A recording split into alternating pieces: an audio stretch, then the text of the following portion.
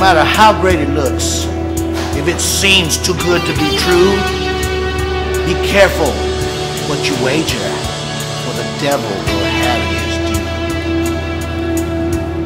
The devil walks.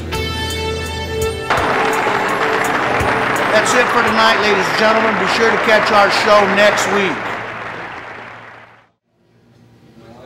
Jeez, what a dump. Say, old man, you got any action in them cards? Suppose you fancy yourself somewhat of a gambling man.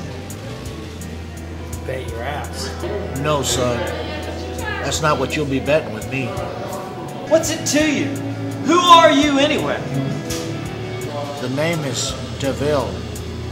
I might be able to help you with that game you're looking for. If you're up to high risks. And you don't get too excited over ordinary table stakes. Have a seat.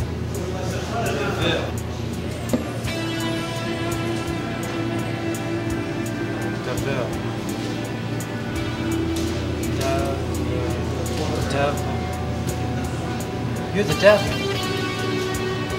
And you're gonna try to buy my soul, aren't you? I can buy souls all day long. Easier than ordering a drink here. Not much challenge to it, is it? If I'm going to invite someone to put up their soul on a single cut of the cards, can you imagine the stakes I'd have to offer for that? I win the cut, you still get two years of luck, wealth, health.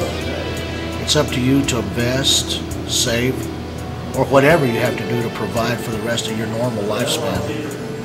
At the end of that time, I get the soul. You win, you get 10 years of riches, good luck, and a good life. Then we sit down and negotiate the stakes for the next game. Hey! Hey! Where are we? Relax. In your mind, you agreed to the terms of the contract, and now our contract shows that.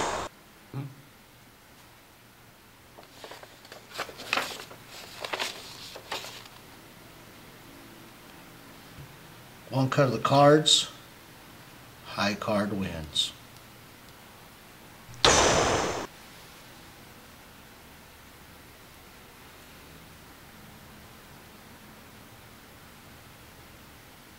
Now, that worked out well, didn't it? Remember, see you later in about 10 years.